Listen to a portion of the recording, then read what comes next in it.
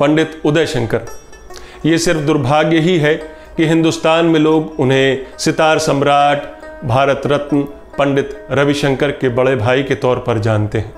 वरना पंडित उदय शंकर का भारतीय कलाओं, खास तौर पर डांस को लेकर जो योगदान है, वो आशाओं से परे है। नमस्कार, मैं प्रभात शुंगलू। आज आपको पंडित उदय शंकर की कहानी सुनाता हूँ। पंडित उदय शंकर का जन्म राजस्थान के उदयपुर के एक बंगाली परिवार में हुआ था। पिता जाने माने बैरिस्टर थे और झालावाड़ के महाराज के यहाँ काम करते थे।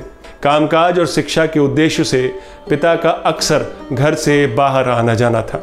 ऐसे में उदय शंकर अपने चाचा के यहाँ रहकर पढ़े। झालावाड़ के अलावा उत्तर प्रदेश के शहरों में भी उनकी पढ़ाई लिखाई हुई। इसी दौरान उन्होंने संगीत की शिक्षा भी ली। करीब 18 साल की उम्र रही होगी और साल था 1918 के आसपास उदय शंकर को पढ़ाई के लिए J J school of art भेजा गया।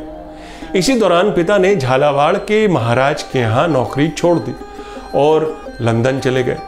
वहाँ जाकर उन्होंने भारतीय संगीत, नृत्य के कार्यक्रमों का आयोजन करना शुरू कर दिया। दरअसल इस बीच उदय शंकर के पिता ने एक इंग्लिश महिला से विवाह कर लिया था। खैर उदय शंकर को इसके बाद रॉयल कॉलेज ऑफ़ आर्ट में एडमिशन दिला दिया गया। उदय शंकर के लिए टर्निंग पॉइंट ये भी था कि उन्होंने इतनी कम उम्र में हिंदुस्तान छोड़ दिया। वहाँ पढ़ाई के साथ साथ वो अपने पिता के आयोजित कार्यक्रमों में भी हिस्सा लेने लगे। एक ऐसे ही कार्यक्रम में विश्वविख्यात बैले डांसर एना पावलोवा मौजूद थीं। और उन्होंने उदय शंकर का डांस देख लिया। इसके बाद पंडित उदय शंकर का एक महान नृतक के तौर पर उदय शुरू हुआ। इसके बाद तो पेरिस न्यूयॉर्क और लंदन में पंडित उदय शंकर का डांस देखने वालों की भीड़ जमा होने लगी। ये अलग बात है कि उनकी ख्याति के साथ साथ ये चर्चा लगातार चलती रही कि उन्होंने कभी परंपरागत तरीके से डांस तो सीखा ही नहीं है। उदय शंकर के बारे में ज़्यादा जानकारी का न होना शायद वक्त की बेरुखी ही कहेंगे। सच्चाई ये है कि पंडित रविशंकर ने बतौर सितार वादक विश्व पटल पर जो नाम कमाया, उसके पीछे भी पंडित उदय शंकर का बड़ा रोल है। विदेशों में पंडित रविशंकर को जो शुरुआती कार्यक्रम मिले, उनके पीछे पंडित उदय शंकर का ही हाथ था।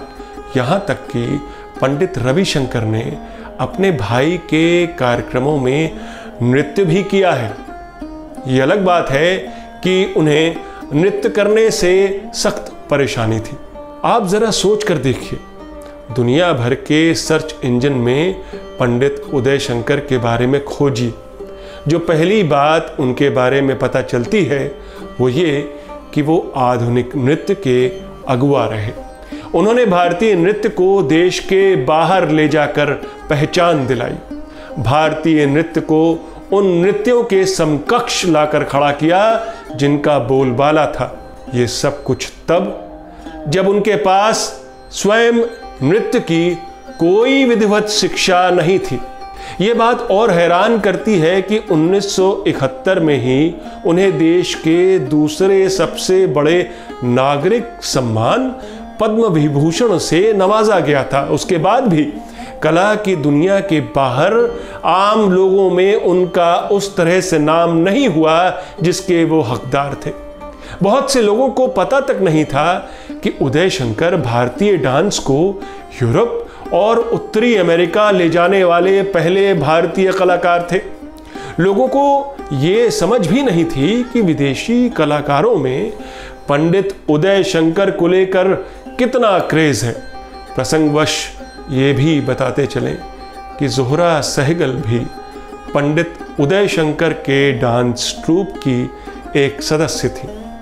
इसके अलावा विश्वविख्यात नृत्यांगना बाला सरस्वती ने भी पंडित उदय शंकर के साथ ट्रूप में नृत्य किया था।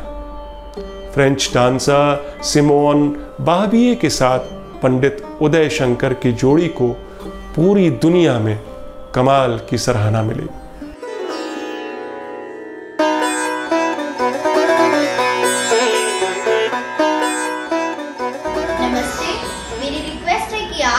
रागिरी के YouTube चैनल को सब्सक्राइब कीजिए, हमारे इन वीडियोस को लाइक कीजिए और Facebook और Twitter के ज़रिए भी आप हमसे जुड़ सकते हैं। Thank you